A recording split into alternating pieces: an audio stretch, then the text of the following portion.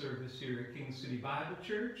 Uh, Pastor Jim, uh, it's great to have you uh, join us today, and I hope today finds you all safe, well, uh, joyous in the Lord.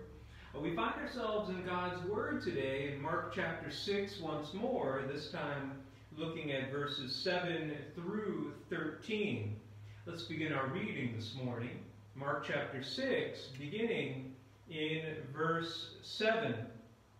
Calling the twelve to him, he sent them out two by two and gave them authority over evil spirits. These were his instructions.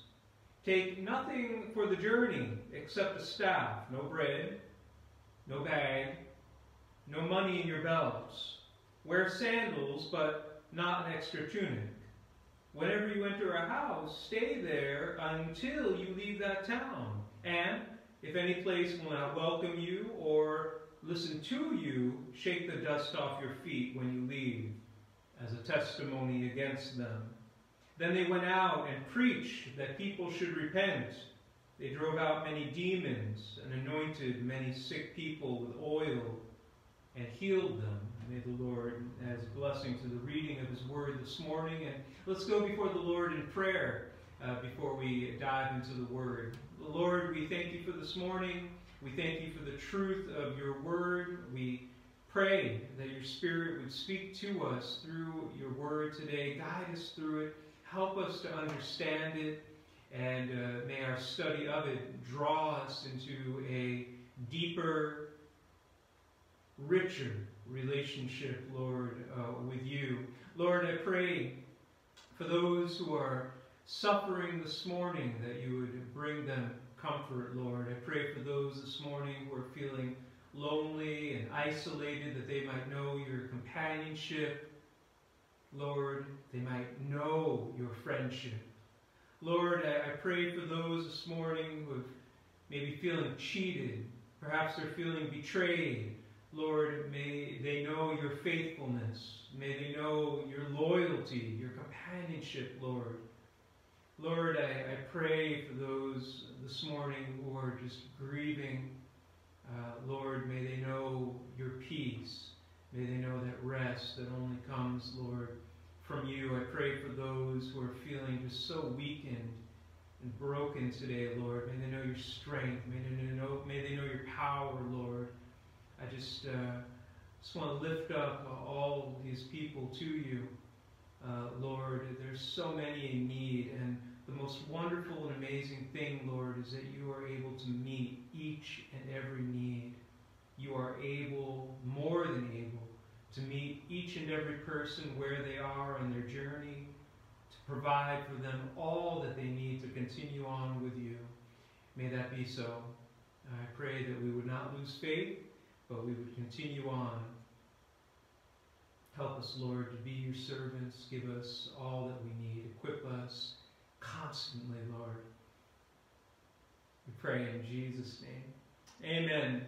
You know, uh, last week we were in Mark chapter 6 and we looked at verses 1 through 6 and we saw that Christ Jesus, the servant of Jehovah, was rejected in his hometown of Nazareth and we also saw that because of their unbelief in Christ, the power of God, that truly divine power, was actually restrained.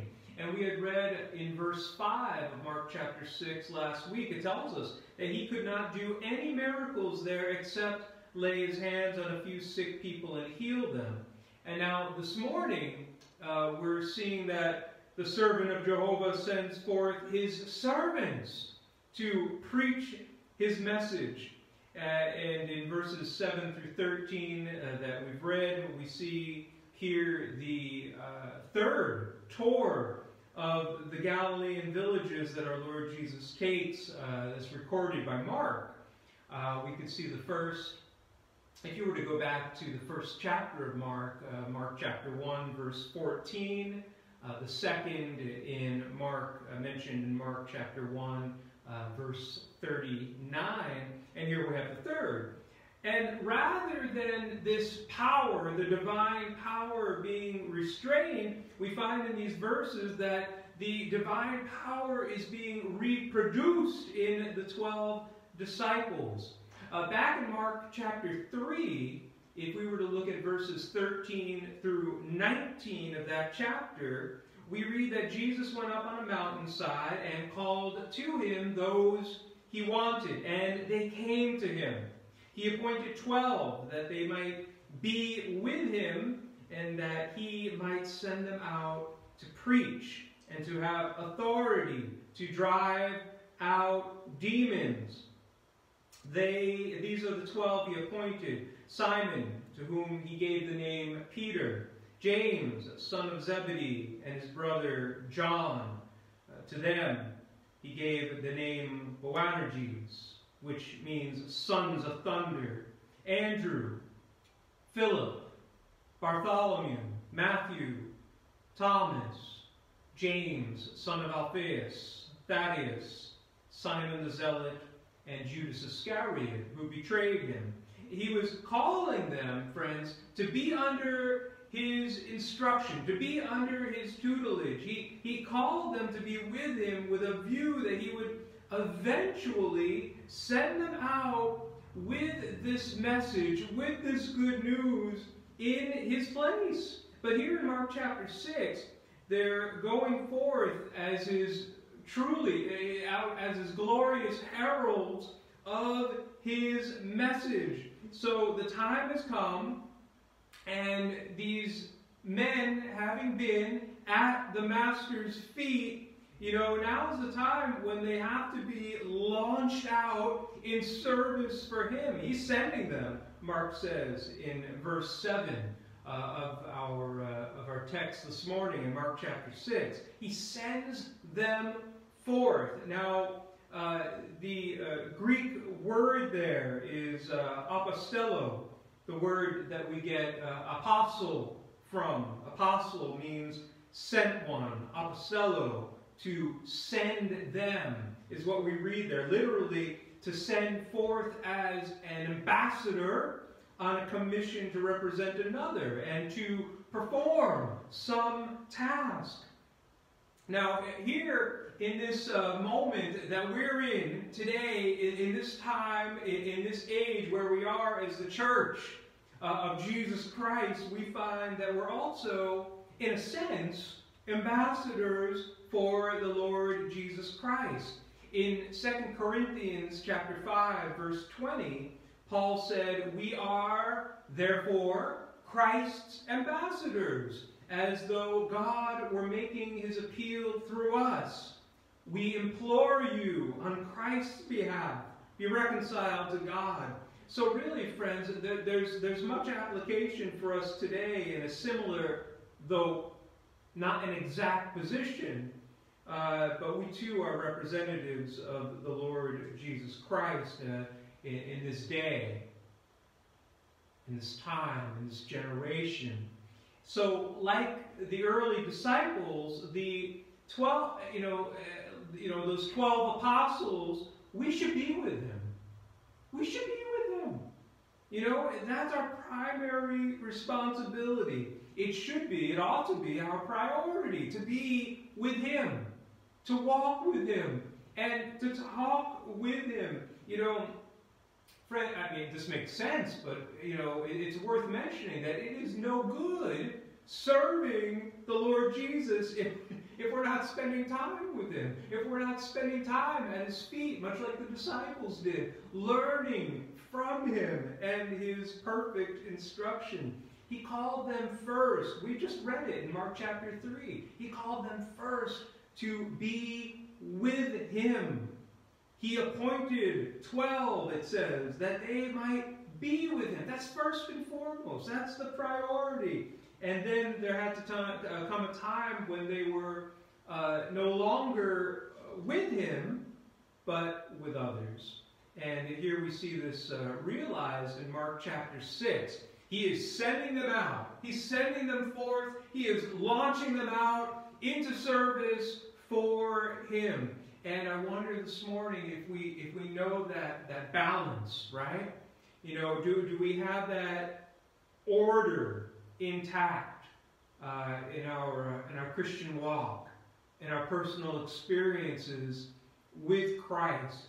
First, here's the order to be with Him. That's first and foremost. We have to be with Him. And then launched out into service. If we try it out of order, we're not going to be of much good to Him. We have to be with Him. He sends us forth. And, and we're, we're out there. We're, we're spreading the good news. I hope. Right? Uh, now, um, Judaism, it recognized, it understood a, a kind of uh, legal uh, recognition that an action performed by authorized individuals on the behalf of another was considered as the actual action of the person represented. Their, their, their, Jewish law of the time, right there, that law of the land, it acknowledged the sent one as the person who commissioned him. So if you're appointed as a representative in the legal sense of the term, you were that person. And in keeping with that thought, we find uh, in verse uh, 30 of this chapter that the, it says they're having come back from their mission at that point. The text says in verse 30 that the apostles gathered around Jesus, right? And look what it says, and reported to him all they had done and taught. All they had done and taught. They were reporting to him because they'd been operating on his behalf, right? As if he was operating. And, and, really, that fits in so well with the, the theme of this portion of text because what we are, are witnessing here is not the power of the apostles, but it's the power of the Lord Jesus Christ reproduced in his representatives. And um, like us today, as ambassadors for Christ, as apostles with a small a, right? There, there were only 12, right? Right? But as ones he has sent out to represent him, we are called upon to reproduce his power. So, how did he send them out? Well, verse 7 uh, of Mark chapter 6 says, He began to send them out two by two, right? He sent them out in pairs. Now, uh, Mark alone notes that the Lord Jesus sent the 12 out two by two, I believe. Uh, Luke uh, chapter 10, uh, verse 1 notes that the Lord sent out the 70 or 72. The 70, he sent them out two by two. It does mention that. But but why did he send them out, as you know, here in verse 7? Why did he send them out two by two? Well, I, I, I went off on a little trail with this. I hope you don't I hope you don't mind, but I I, I, did, I didn't stop myself. I just went I just went with it. So uh, well, I think one answer to that question might be that it, it gives them authenticity in a legal sense. As they were bringing testimony, the, the, Lord, the law required that in the, uh, in the mouth of uh, two or three witnesses, a truth should be established. So they were going out to propagate this, the, the truth of this message from Christ on his behalf as his representatives, and it would fulfill the law's requirements that they went in twos. Right? Now, in addition to that, we read in the Gospel of Matthew, chapter 18, verse 19, that the Lord Jesus said, Matthew 18, 19, Again, truly I tell you that if two of you on earth agree about anything they ask for, it will be done for them by my Father in heaven. And friends, I, I, there is great strength in praying with other people and operating in service with other people, not just, not just on your own. So prayer ministry just would have been multiplied in going two by two, right? And I think another reason for sending them out two by two may simply be that it gives encouragement, right? That it gives companionship and cooperation. And it may just be for that simple reason that the Lord sent them out as such, to encourage one another, to have someone with them, to be that companion, to be someone to work with, to cooperate closely with. Solomon said in, a, in Ecclesiastes chapter 4, uh, beginning in verse 9 and going through the first part of verse 12, Ecclesiastes 4, beginning in verse 9, two are better than one, because they have a good return for their labor. If either of them falls down, one can help the other up. But pity anyone who falls and has no one to help them up. Also, if two lie down together, they'll keep warm. But how can one keep warm alone? Though one may be overpowered, two can defend themselves. And, and so what Solomon tells us that when we go out with company to serve the Lord, we have assistance, we have comfort, and then we have a defense as well. And then he says in that second part of verse 12 that three, additional to two, also has with it uh, its advantage. A cord of three strands is not quickly broken.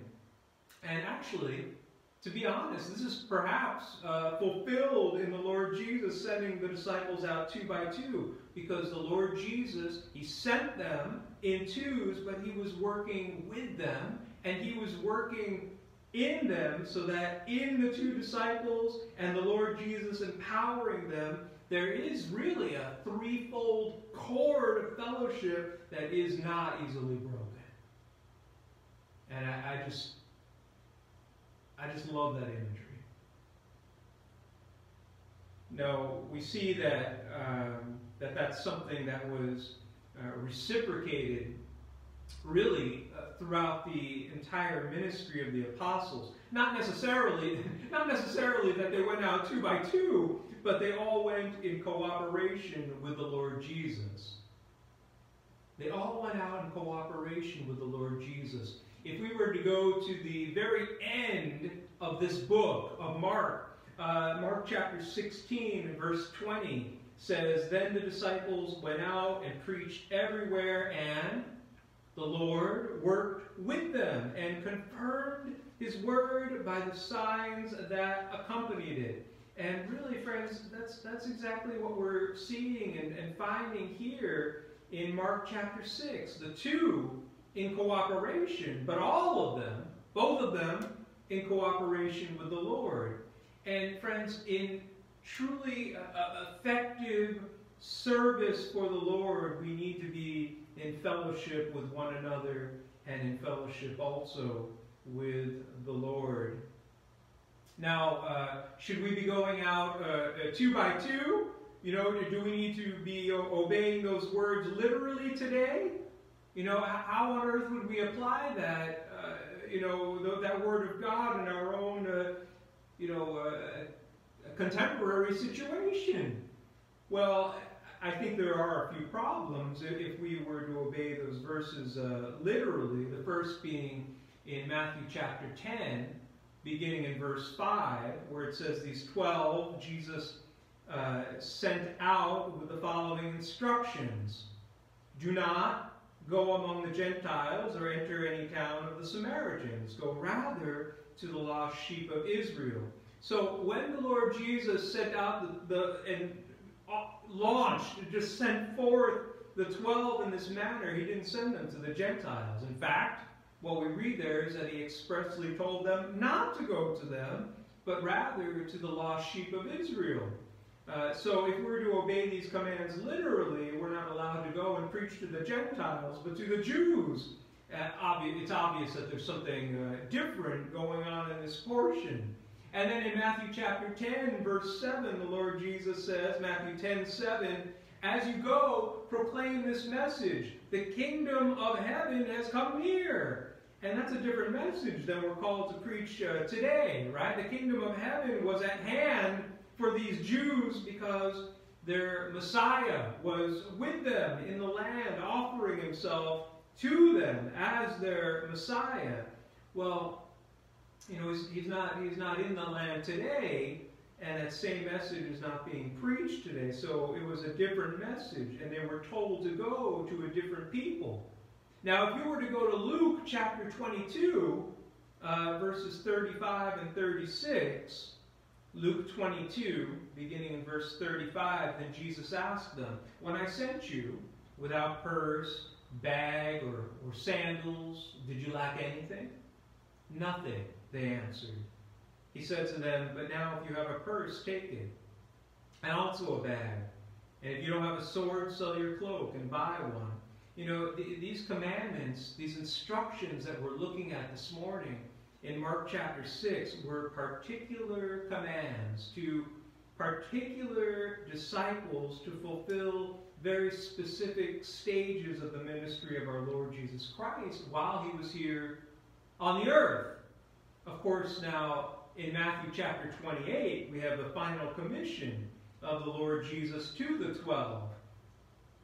And we know it well in verses 19 and 20 of Matthew chapter 28. Therefore, go and make disciples of all nations, baptizing them in the name of the Father and of the Son and of the Holy Spirit, and teaching them to obey everything I've commanded you, and surely I am with you always to the very end of the age. And, you know, this was another message, you know, a message that wasn't just to the Jew, but this was a message to the global nations. It is a message of grace through faith, and it's a message that we still carry today, right? And we'll continue to carry. You know, you know. Further though, when you know, it, if we go even further into the book of Acts, you know, we find that the church didn't practice these instructions. The apostles didn't practice them either, literally.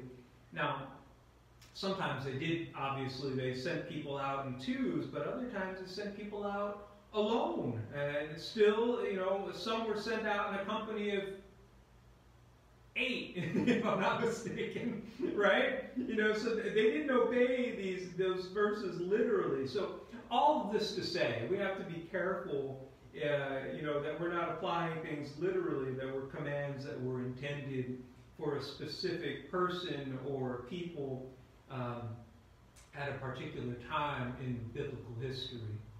Now, again, all that being said, there are general principles that are found in these instructions in Mark chapter 6 that are related to service, that service, and our service because these principles that we see here are just timeless and we can absolutely apply them uh, today you know and uh, really the first one is uh, i already mentioned and that's if we're to have effective service for the lord we have to be in fellowship with one another and we have to be in fellowship with the lord and then the second we find in uh, that second part of verse 7 in, um, in Matthew, uh, Matthew, in Mark chapter 6.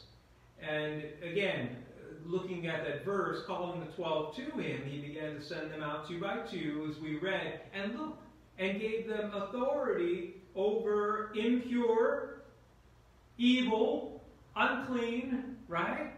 Whatever your translation says, spirits. He sent them in pairs, but friends, don't miss this. Not only did he send them out in pairs, but he sent them out with authority and power. Right? Now, now here we're, we're seeing the one who, remember last week what we were talking about in verses 1 through 6 of Mark chapter 6, Here's the one who could do no mighty works, not because he wasn't able, but because the divine conditions of faith in the hearers, it wasn't met. And now he's giving that power to others. And it's obviously a divine power, so the power is being reproduced. Listen, it is one thing to cast out demons, which the Lord did, but only God can only God can confer these powers to others. That's it. You know, uh, uh, Darby uh, said, any can work miracles if God gives the power, but God alone can give it. That's it. Right? And so here we see the, the, the deity of our Lord Jesus Christ. He's imparting the power to work miracles on earth. You know, friends, as, as the Lord Jesus wanted these disciples, these the twelve, to serve him in power and authority, he wants us as well to serve him in power today. So that word for authority that you see there in verse 7, as I've already mentioned, that's also the word for, for power. For power. He, he gave them authority over unclean spirits. You know, um, again, uh, and uh, we, we never took the opportunity this time around, I think many years ago, I was in Mark chapter 1 anyway. Back in Mark chapter 1, uh, verses 26 and 27, the people were amazed. The people just marveled at the Lord Jesus because he cast out the demons. You know, they were all amazed at his power and they asked each other, you know, what is this? right? That's what it says in the text. What is this? A, a new teaching and with authority. He even gives orders to impure spirits and they obey him. And now he's giving this to the disciples. This same power and authority is being reproduced in his representatives. Right? Now, listen, we cannot do what the apostles did in many respects, right? But, but, the fact of the matter is, as far as as far as we're concerned, today, as followers and servants of the Lord Jesus, listen, we know the Lord Jesus Christ, He came down from heaven, He died on the cross, He was buried, He rose again, He went up to heaven, and after He went up to heaven, the Holy Spirit came down from heaven and absolutely empowered the church to go out and to into this world and to touch men and women for, well, for heaven, right? You know, that their souls might be saved, right? That they would not perish. They would know the name of Jesus and come to him and know life eternal. Friends, you know, we're to serve the Lord with his own divine power. You see that word gave there in, uh, in verse 7 of Matthew, um, keep uh, the second time I've done that. Mark chapter 6, right? But you look at verse 7, calling the 12 to him, he sent them out two by two and gave them. He gave them that authority. He gave them that power. Friends, that word gave is in the imperfect tense, and that means he kept on giving them the power throughout their, their, their you know, that ministry, that ministry tour of Galilee. He kept on doing it. That's the idea there. It was a timeless, limitless supply of power. And I want to, now, for us, that should elicit a hallelujah because that is available to us. And uh, I think it was Warren Wiersbe who said that God's commandments are always his enablements. I know that's where I read that. God's commandments are always his enablements. I like that. Paul said, the Apostle Paul said in uh, 2 Corinthians uh, chapter 3, beginning in verse 5, not that we are confident in ourselves to claim anything for ourselves, but our confidence comes from God. He made us confident as ministers of a new covenant, not the letter, right? Not the letter of the law, right? But of the Spirit, for that letter kills, right? But the Spirit gives life. The Spirit gives life. You know, it, you know, I, I wonder if we know that power in our lives today. I mean, do we really know that? Do we know it in our service for the Lord? You know, uh, Phillips Brooks said, Do not pray for, and you guys know this quote well, I'm sure, do not pray for tasks equal to your powers, pray for powers equal to your tasks. You know, and it, it, it, makes sense. You know, why pray for tasks equal to your powers? Because your powers, my powers, are feeble, right? Pathetic. But pray for divine powers equal for your tasks, for those things that God is calling you and I to do. Right? That it just makes sense. So how did how did he send them out? The Lord Jesus sent out the twelve in pairs. He sent them out with authority and power. And really, thirdly, he sent them out with the promise of provision. Uh, if we look at verses 8 through 10 of our text this morning, Mark chapter 6, it says, These were his instructions take nothing for the journey except staff, no bread, no bag, no money in your belts. Wear sandals, but you know, don't take that extra tunic, that extra shirt, right? Whenever you enter a house, stay there until you leave that town. Now, I, I went off on a I went off on a little trail again. Forgive me for it, but I do hope that it's helpful.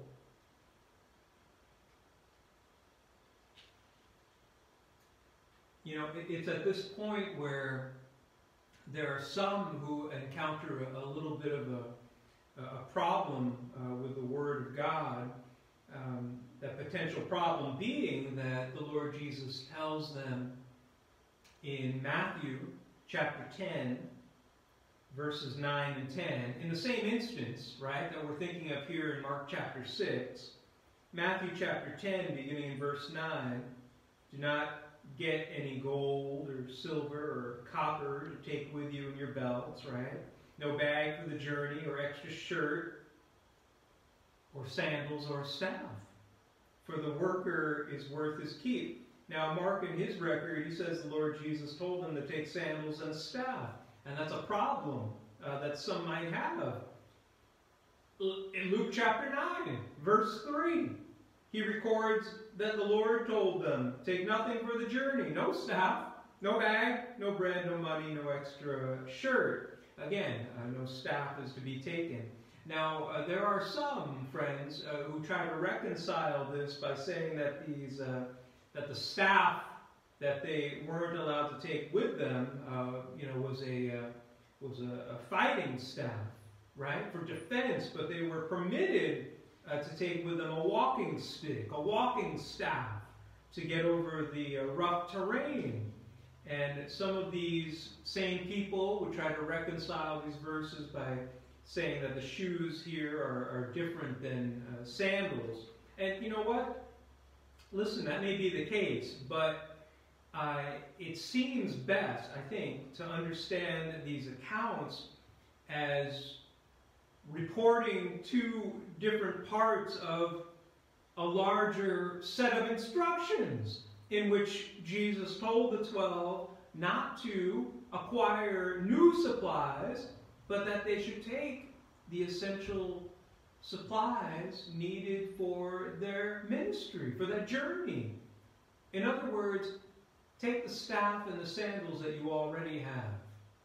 Don't get new ones. And I think that that interpretation is uh, completely in keeping with the whole meaning of this portion.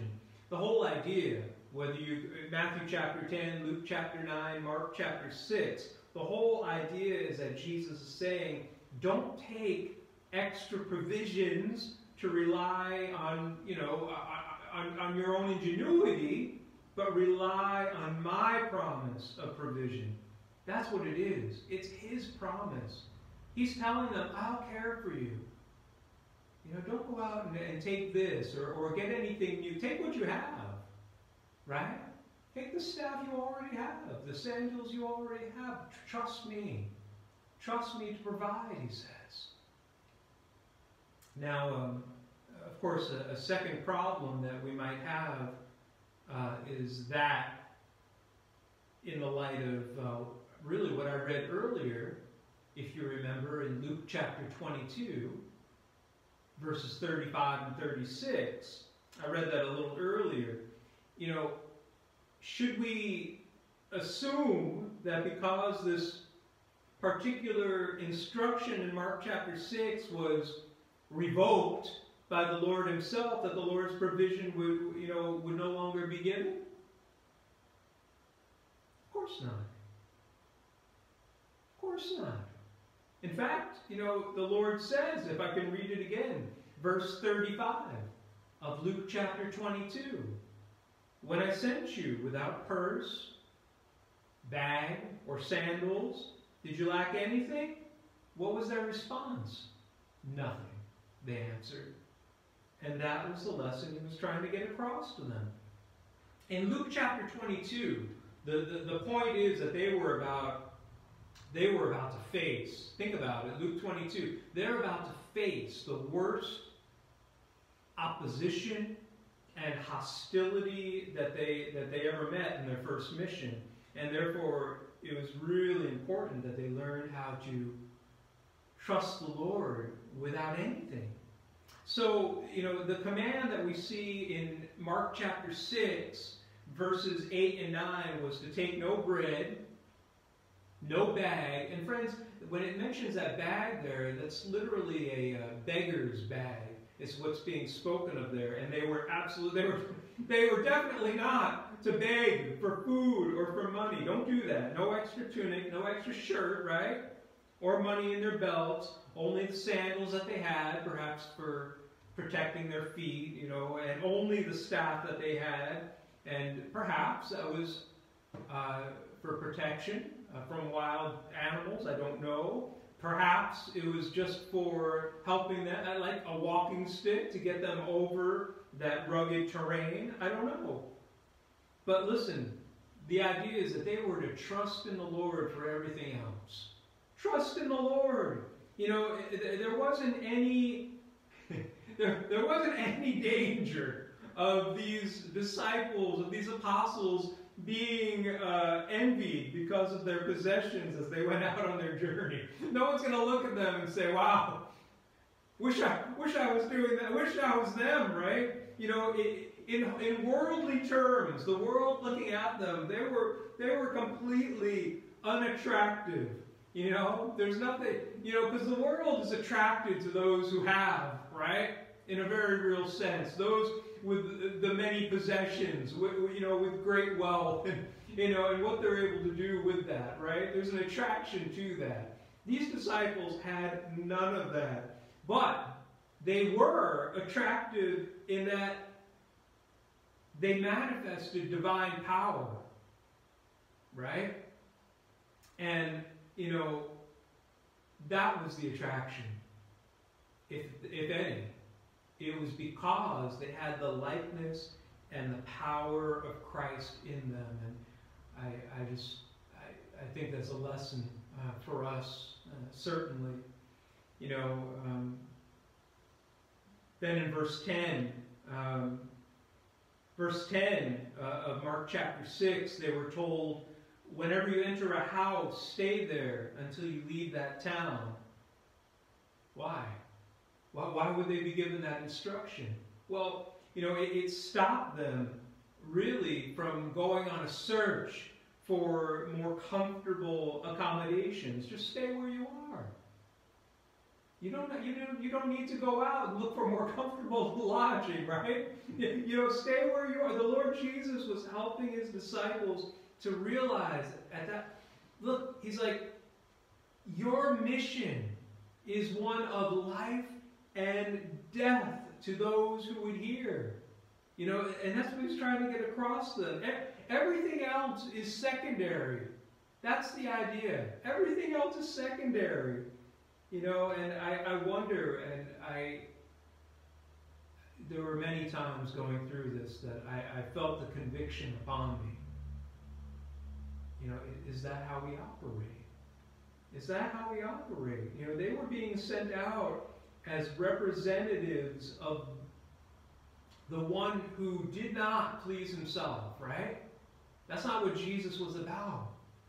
You know, Jesus was not self-seeking, and you know, and, and they weren't to compromise the message by seeking any sort of luxury or comfort or ease. And that's why, actually, and I was thinking back to, I don't know how long ago it was that I was preaching uh, from this, but you might recall that this is why the apostolic church, they could say, like, you remember Peter, and he's saying this to the lame man outside the gate called Beautiful, right? He says those words to him Silver or gold I do not have. Acts chapter 3, verse 6. Silver or gold I do not have, but what I do have, I give you. Are you hearing those words? And then he says, In the name of Jesus, of Christ of Nazareth, walk, walk. Power and authority. You know, you know, that's what he had. He had the name, you know, right? We talked all about this. We and uh, and I preached on this, but I, I thought that was, uh, you know, that's what they could say. That's what they could say. You know, and it's hard, I think, for the the modern church today to say that. You know, sometimes, not all the time, but at times, I think it is because I would, you know, I think there are often times where we just we rely on our own resources uh, rather than uh, on God's uh, supernatural provision, and uh, and I'm convicted of that. You know, I there's times, you know, I. So, but we need to hear that. We need to understand that, and we really do need to rely on not trusting so much on our own resources, but on what God provides. You know, we, uh, we learn from these instructions in, uh, that we read in verses uh, 8, 9, and 10 of Mark chapter 6 that you and I, we need, if we're servants of the Lord, if we're followers of Christ in this time, you know, we need dependence on the Lord. We don't need dependence on, on wealth. You know, what we need, and the idea here, is, and what the disciples needed, we need faith. We need faith. And that minimum of provision that they had was to call these disciples out in the maximum of faith, the minimum of provision. In that, the Lord teaches them to go out in that maximum faith. You know, that, that's the whole idea that they didn't have they didn't have any resources. And so they just had to totally cast themselves upon the Lord. That was it. That's it. And what the Lord was teaching the servant was, look, as long as the, he's telling them, as long as you're doing my work, I'll supply your need. And I believe those are the words to us today. As long as you're doing my work, he says, I will supply your need. I'll be there to provide for you, to supply you, to equip you with what you need to do that good work, to do those great exploits in my name, he says. You know, and uh, I think we see this exemplified in Paul's uh, letter to Timothy uh, when he said these words. I want to read to you these words from 1 Timothy uh, chapter 6, verses 6 through 10. 1 Timothy 6, beginning in verse 6. But godliness with contentment is great gain. For we brought nothing into the world, and we can take nothing out of it. But if we have food and clothing, we'll be content with that. Those who want to get rich fall into the temptation and a trap and into many foolish and, and harmful desires that plunge people into ruin and destruction. For the love of money is a root of all uh, kinds of evil. Some people, eager for money, have wandered from the faith and pierced themselves with many griefs. And again, and you've probably heard this said, but I'll say it anyway. You know, I, he's not saying it's wrong uh, to have some money in your pocket, but it, it becomes wrong to depend upon that resource and not uh, depend on God. And of course, the idea there is running after more money can actually push us away from faith into error and then compounding misery and uh, actually you know that word there pierce themselves with many griefs miseries and uh, I, I, believe it's in the aramaic the, the word there too can bring about the idea of demons. And it really is. It's the thought of in, inviting them into our lives, miseries and, and evils into our lives. And, and that comes from just an insatiable greed that could develop, right? And that's what we're that's what we're warned of. You know, the disciples' great profit, if they if they profited from anything, they profited from their holy awe of God. Right? I mean, that's what it was. You know, and, you know, they, they had little, but they saw the mighty things they were able to do, not of themselves, but the power of God. God working with them and God working in them. And um, I wonder, I was wondering for myself, but I wonder, you know, for all of us, you know, in our service to God, you know, I, maybe I'm distracted sometimes by the, the resources uh, and not as profiting as much as I should from just the awe, you know, the, that awe of what God does, working through me, working with me. I'm not doing anything on my own. We don't want to lose that, is what I'm saying. We don't want to lose that. Don't lose that. let's let's stay in awe of God and what He does. You know, we can't claim anything for ourselves, but it's God. You know, the you know we, we have to serve in faith. That sure thing is is faith, not our faith, you know, but God's faith for sure. You know, uh, uh, our resources, friends our resources, and our resources, whether they're financial, whether they're technological, I would say even if they're intellectual resources, whatever the case might be, none of them are sure, but God is sure. Amen? He is sure, and our dependence has to be with Him and Him alone.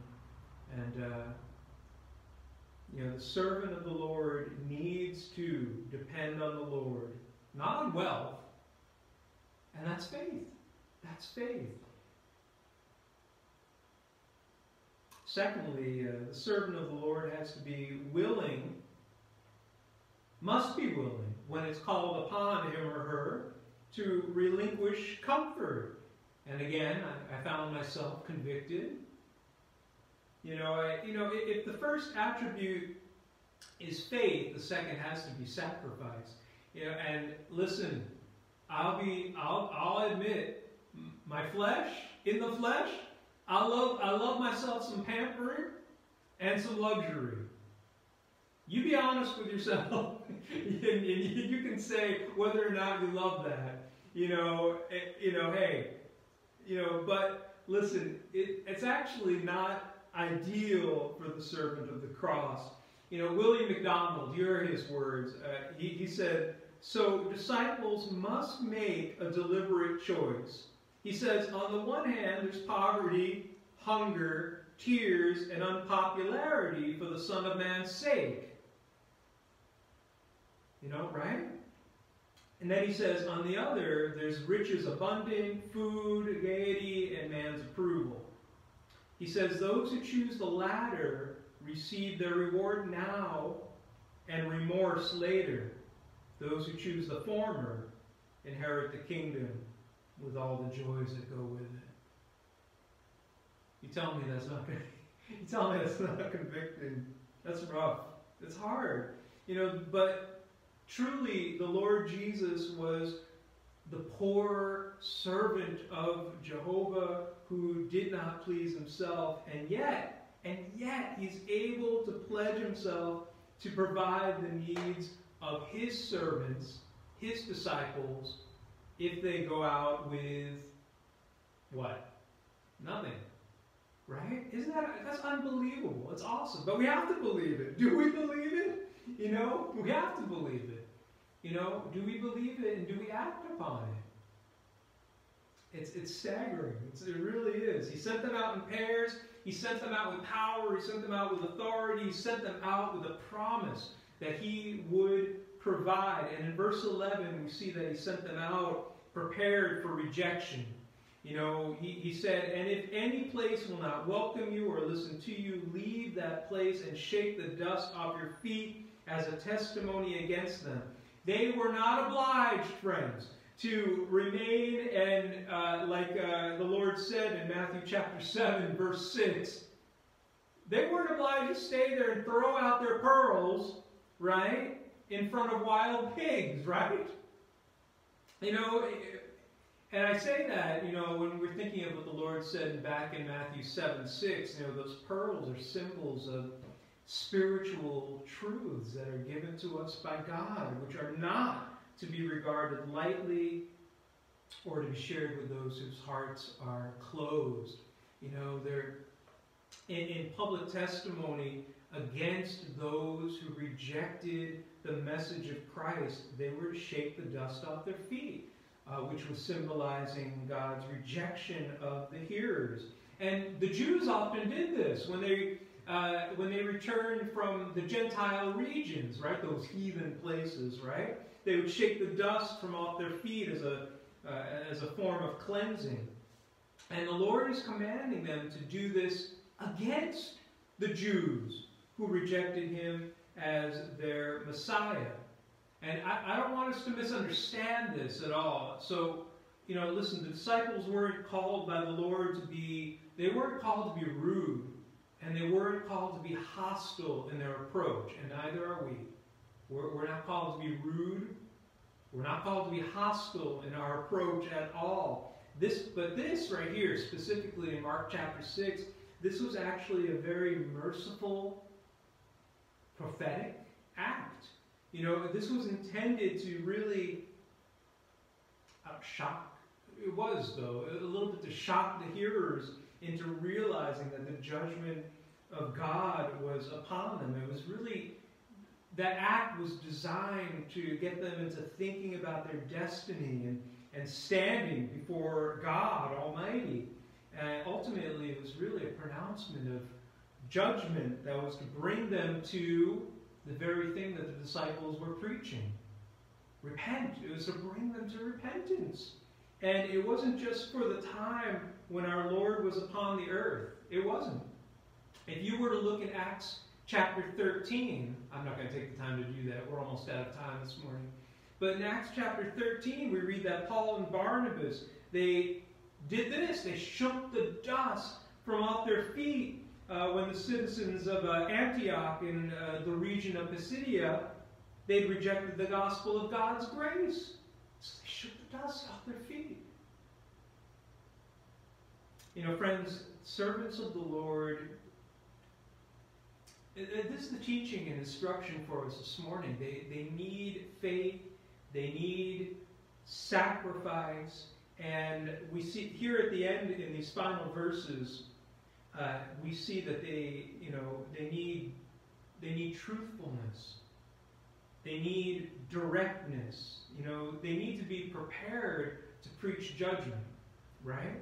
And and there is a sense of urgency here. Now, I, you know, I'm looking here um, in uh, in the NIV here, the Bible in front of me, but you know, there are some uh, Greek manuscripts that add a, a, sentence to the end of uh, Mark chapter 6, verse 11. Take this as you will. I think if you were to look in the King, the King James Version, you'd see these words. But, you know, sometimes you see those words added. Truly, I tell you that it'll be more tolerable for Sodom and Gomorrah in the day of judgment than for that city. You know, take it for what you will, right? But, you know, friends, those who reject Christ are, are in a sense, they're in a worse situation, you know, than Sodom and Gomorrah. And friends, fire rained down from heaven upon them. Listen, we've heard the gospel. we have the Bible in our hands, you know. There was a time. Do you remember that time before COVID when we when we'd gather, right?